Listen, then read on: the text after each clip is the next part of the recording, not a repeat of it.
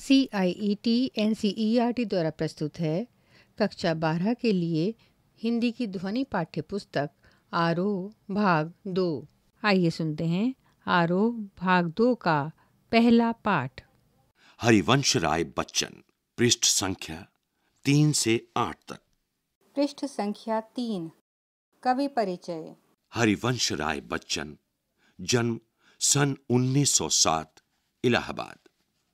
प्रमुख रचनाएँ मधुशाला 1935 मधुबाला 1938 मधु कलश 1938 निशा निमंत्रण एकांत संगीत, आकुल अंतर, मिलन यामिनी, सतरंगिणी, आरती और अंगारे, नए पुराने झरोखे, टूटी फूटी कड़ियाँ काव्य संग्रह।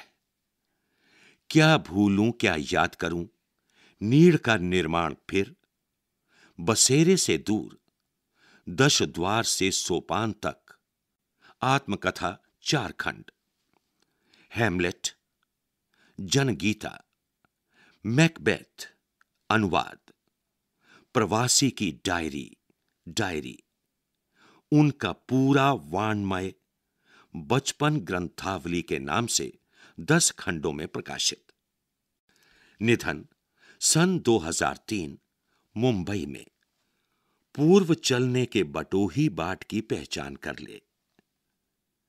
1942 से उन्नीस सौ बावन तक इलाहाबाद विश्वविद्यालय में प्राध्यापक, आकाशवाणी के साहित्यिक कार्यक्रमों से संबद्ध, फिर विदेश मंत्रालय में हिंदी विशेषज्ञ रहे।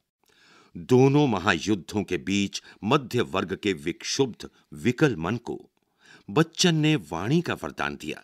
उन्होंने छायावाद की लाक्षणिक वक्रता के बजाय सीधी साधी जीवंत भाषा और संवेदन सिक्त गे शैली में अपनी बात कही। व्यक्तिगत जीवन में घटी घटनाओं की सहज अनुभूति की ईमानदार अभिव्यक्ति बच्चन के यहाँ कविता बनकर प्रकट हुई। ये विशेषता हिंदी काव्य संसार में उनकी विलक्षण लोकप्रियता का मूल आधार है। मध्ययुगीन फारसी के कवि उमर खयाम का मस्तानापन, हरिवंश राय बच्चन की प्रारंभिक कविताओं, विशेषकर मधुशाला में एक अद्भुत अर्थ विस्तार पाता है। जीवन एक तरह का मधु कलश है। दुनिया मधुशाला है। कल्पना साकी और कविता वो प्याला जिसमें ढालकर जीवन पाठक को पिलाया जाता है। कविता का एक घूंट जीवन का एक घूंट है। पूरी तन्मयता से जीवन का घूंट भरें। कड़वा खट्टा भी सहज भाव से स्वीकार करें। तो अंततः सूफियाना सी बेख्याली मन पर छाएगी। एक के बहाने सारी दुनिया से इश्क हो जाएगा। और तेरा मेरा के समस्त झगड़े काफूर हो जाएँगे। इसे बच्चन का हालावादी दर्शन कहते हैं। ये बात ध्यान देने योग्य है कि उनकी युग बोध संबंधी कविताएँ जो बाद में लिखी गईं, उनका मूल्यांकन अभी तक कम ही हो पाया है। बच्चन का कवि रूप सबसे विख्यात है। पर उन्होंने कहानी नाटक डायरी आदि के साथ बेहतरीन आत्मकथा भी लिखी है जो ईमानदार आत्मस्वीकृति और प्रांजल शैली के कारण निरंतर पठनीय बनी हुई है। पृष्ठ संख्या चार।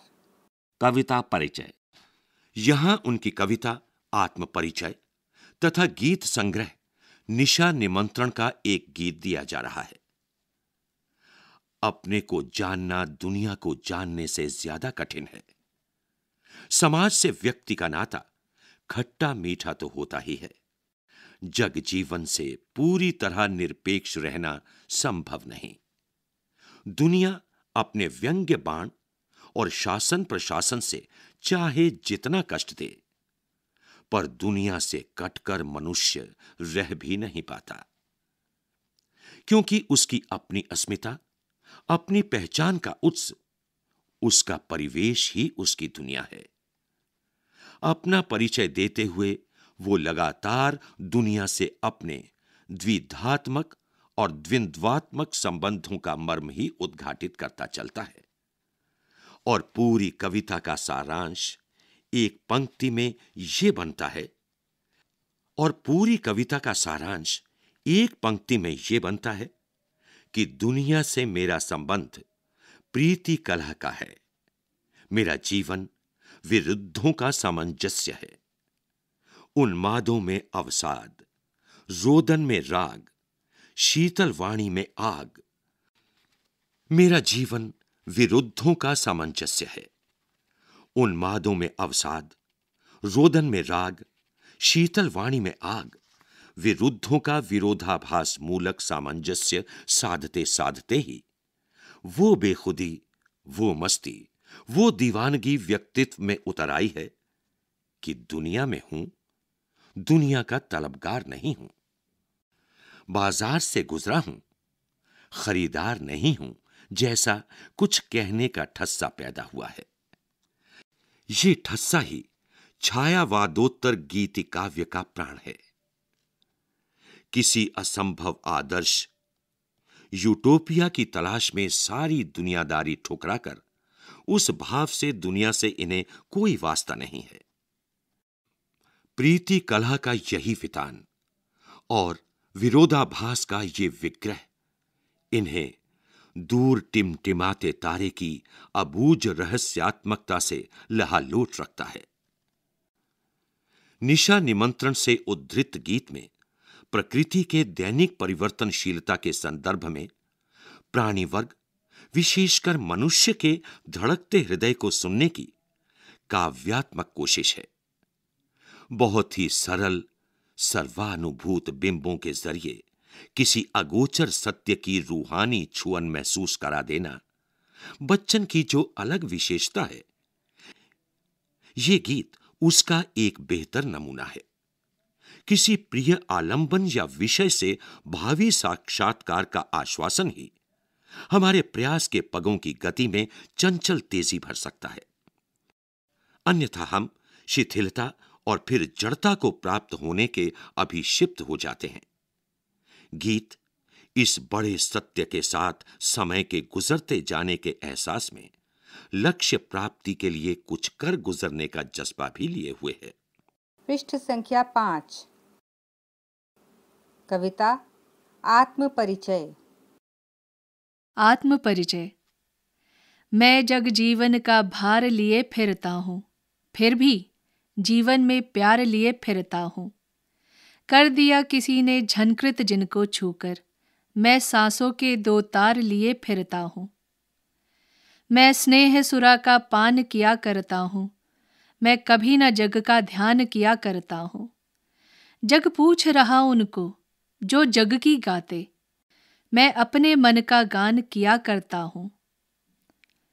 मैं निज उर के उद्गार लिए फिरता हूँ।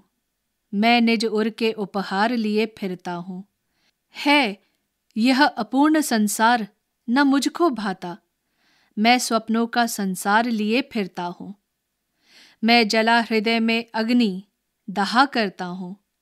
सुख दुख दोनों में मग्न रहा करता हूँ। जग भव सागर तरने को नाव बनाए।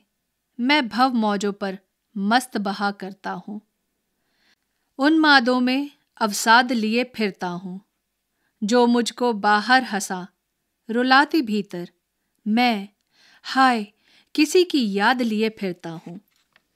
पृष्ठ संख्या छह कर यत्न मिटे सब सत्य किसी ने ना जाना। नादान वही है हाय जहाँ पर दाना। फिर मूड न क्या जग, जो इस पर भी सीखे। मैं सीख रहा हूँ, सीखा ज्ञान भुलाना। मैं और और जग और, कहाँ का नाता? मैं बना बना कितने जग, रोज मिटाता। जग जिस पृथ्वी पर जोड़ा करता वैभव, मैं प्रतिपक्ष से उस पृथ्वी को ठुकराता। मैं निज रोदन में राग लिए फिरता हूँ। शीतल वाणी में आग लिए फिरता हूँ। हो जिस पर भूपों के प्रसाद निछावर, मैं वह खंडर का भाग लिए फिरता हूँ। मैं रोया, इसको तुम कहते हो गाना? मैं फूट पड़ा, तुम कहते छंद बनाना। क्यों कवि कहकर संसार मुझे अपनाए? मैं दुनिया का हूँ, एक नया दीवाना। मैं दीवानों का वेश लिए फिरता हूँ। मैं मादकता निशेष लिए फिरता हूँ। जिसको सुनकर जग झूम झुके लहराए मैं मस्ती का संदेश लिए फिरता हूँ। पृष्ठ संख्या सात कविता दिन जल्दी जल्दी ढलता है। दिन जल्दी जल्दी ढलता है हो ना जाए पथ में रात कहीं मंजिल भी तो है दूर नहीं। ये सोच थका दिन का पंथी भी जल्दी जल्दी चलता है, दिन जल्दी जल्दी ढलता है। बच्चे प्रत्याशा में होंगे नीड़ों से झाँक रहे होंगे। ये ध्यान परों में, चिड़ियों के भरता कितनी चंचलता है, दिन जल्दी जल्दी ढलता है। मुझसे मिलने को कौन विकल? मैं हूँ किसके हित चंचल? ये प्रश्न शिथिल करता पद को, भरता उर्मे विवहलता है। दिन जल्दी जल्दी ढलता है। ये प्रश्न शिथिल करता पद को भरता उर में विवहलता है। दिन जल्दी जल्दी ढलता है। दिन जल्दी जल्दी ढलता है। पृष्ठ संख्या आठ अभ्यास। कविता के साथ। प्रश्न एक कविता एक ओर जग जीवन का भार लिए घूमने की बात करती है और दूसरी ओर मैं कभी ना जग का ध्यान किया करता हूँ। विपरीत से लगते इन कथनों का क्या आशय है? प्रश्न दो, जहाँ पर दाना रहते हैं, वहीं नादान भी होते हैं। कवि ने ऐसा क्यों कहा होगा? प्रश्न तीन, मैं और और जग, और कहाँ का नाता? पंक्ति में, मैं और और जग, और कहाँ का नाता पंक्ति में? और शब्द की विशेषता बताइए। प्रश्न चार। शीतल वाणी में आग के होने का क्या अभिप्राय है? प्रश्न पाँच। बच्चे किस बात की आशा में नीड़ों से झाँक रहे होंगे? प्रश्न छह। दिन जल्दी जल्दी ढलता है कि आवृत्ति से कविता की किस विशेषता का पता चलता है? कविता के आसपास संसार में कष्टों को सहते हुए भी। खुशी और मस्ती का माहौल कैसे पैदा किया जा सकता है? आपसदारी जयशंकर प्रसाद की आत्मकथ्य कविता की कुछ पंक्तियाँ दी जा रही हैं। क्या पाठ में दी गई आत्म परिचय कविता से इस कविता का आपको कोई संबंध दिखाई देता है? चर्चा करें। आत्मकथ्य मधुप गुनगुना कर कह जाता, कौन कहानी ये अपनी? उसकी स्मृति पाथेय बनी है, थके पथिक की पंथा की। सीवन को उधेड़ कर देखोगे, क्यों मेरी कंथा की? छोटे से जीवन की, कैसे बड़ी कथाएँ आज कहूँ? क्या ये अच्छा नहीं कि औरों की सुनता मैं मौन रहूँ? सुनकर क्या तुम भला करोगे? मेरी भोली आत्मकथा। अभी समय भी नहीं। थकी सोई है मेरी मौन व्यथा। जय शंकर प्रसाद। इसी के साथ आरो भाग दो का पहला पाठ यहाँ समाप्त हुआ। इसके बाद पाठ दो आता है। प्रस्तुति C I E T N C E R T New Delhi. Bharat.